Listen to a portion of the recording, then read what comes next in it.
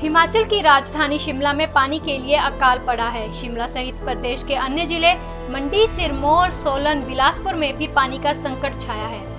शहर में कई दिनों से पानी की समस्या इतनी विकराल हो गई है कि लोगों के घरों में पिछले पाँच छह दिनों से पानी नहीं आया वहीं पानी की कमी के चलते लोगों के लिए दूसरे जिलों से पानी के टैंकर मंगवाए जा रहे हैं लोगों का कहना है कि पानी न मिलने के कारण उनको बावड़ियों का गंदा पानी पीना पड़ रहा है और शहर की महिलाएँ घर के काम करने के लिए काफ़ी मुश्किलों का सामना कर रही हैं।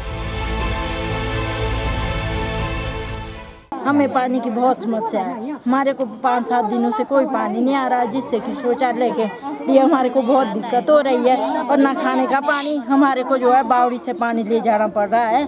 यहाँ बावड़ी में लिखा है कि गंदा पानी है तो गंदा पानी हमारे को तो पीना पड़ेगा। हम जो है पानी के लिए बहुत परेशान हैं। सारे लोग यहाँ इकट्ठे होकर के लाइन में पानी में ले जाना पड़ता है।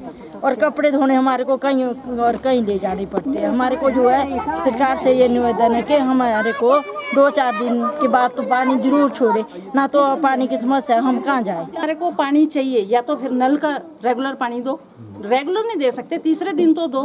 कहाँ जाएँगे हम लोग? और जो ये बॉडी बॉडी है इसमें प्यूरिफाई लगाया उसकी वजह से पानी बिल्कुल खत्म ही हो गया। तो आ, मतलब हम कहाँ क्या करें? खून तो नहीं कर सकते किसी का।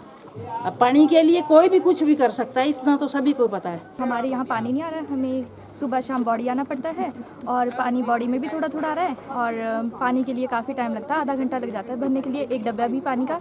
तो हम सरकार से गुजारिश करते हैं कि हम को पानी दें दूसरे तीसरे दिन तो आना ही चाहिए पानी। जहाँ शिमला के लोग पानी की किल्लत से परेशान है तो वहीं राज्य सरकार की व्यवस्था पूरी तरह फेल होती नज़र आ रही है।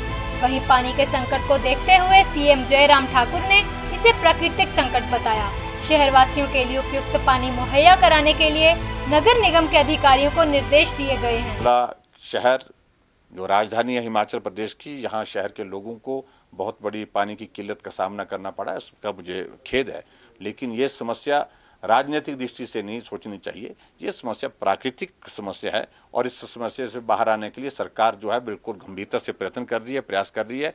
और आ, आज हमने जो है शिमला के जो विधायक हैं माननीय मंत्री शिक्षा मंत्री सुरेश भारद्वाज उनको भी हमने कहा कि वो भी वार्ड में जा करके सारे काउंसलर के साथ कोऑर्डिनेट करके पानी की सप्लाई जहाँ बहुत कम आ रही है कई दिनों से नहीं आ रही है उसको मॉनिटर करेंगे। वहाँ पानी पहुँचे उस बात को सुनिश्चित करने के लिए हमने सारी बातें कही हैं। वहीं शिमला में पानी की कमी का असर हिमाचल के रेलवे स्टेशनों पर भी पड़ा है।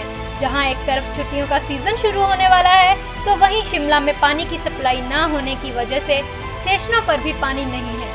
इसके साथ ही कालका से शिमला के बीच चलने वाली टॉय ट्रेन देरी से चल रही है। वहीं अम्बाला रेलवे के अधिकारी का कहना है कि जॉय राइड ट्रेन के इंजन को पानी बहुत ज़रूरी होता है और पानी न मिलने से ट्रेन को चलने में दिक्कत आ रही है। वहीं अंबाला रेलवे के अधिकारी का कहना है कि जॉय राइड ट्रेन के इंजन को पानी बहुत ज़रूरी होता है और पानी ना मिलने से ट्रेन को चलाने में दिक्कत आ रही है। शिमला स्टेशन पे तो पानी की बहुत सवियर कमी है। पिछले पाँच दिन से पानी की कोई सप्लाई नहीं आ रही है वहाँ पे। अल्टीमेटली ये जो ओवरऑल प्रॉब्लम है वो शिमला म्यूनसिपल कॉरपोरेशन की की तरफ़ से है। क्योंकि शायद शहर में तो पिछले आठ नौ दिन से सप्लाई नहीं है। हम लोग कोशिश कर रहे हैं टैंकर वगैरह से सप्लाई करने के लिए पर टैंकर्स भी अवेलेबल नहीं हो रहे हैं।